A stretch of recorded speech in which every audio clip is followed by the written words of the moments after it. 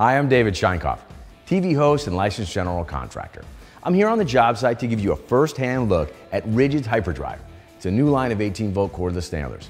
We've got a 16 gauge finish and an 18 gauge brad nailer here to show you. What I really like about going with cordless, it gives you the freedom to go wherever you need.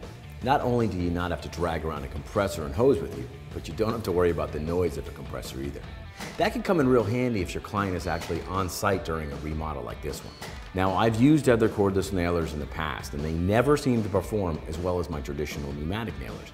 But with Hyperdrive, these tools feature brushless motors, making them fast and powerful. A lot of other cordless nailers use gas cartridges, which not only smell, but have to be replaced all the time, which gets expensive. With Ridgid, you only need one of their 18 volt batteries and you're good to go. Now, one question I get a lot from my peers is how long is the runtime? Obviously, cordless offers a lot of convenience, but what's the point if you constantly have to change the battery? Well, I can tell you firsthand that both of these nailers keep up. The brushless motors gives you up to 1,450 nails per charge on the 16 gauge and up to 2,000 on the 18 gauge.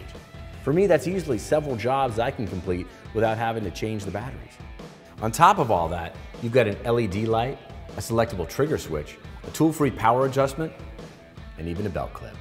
Best of all, Ridgid Hyperdrive nailers are covered by Ridgid's lifetime service agreement, giving you free parts and free service for life when you register.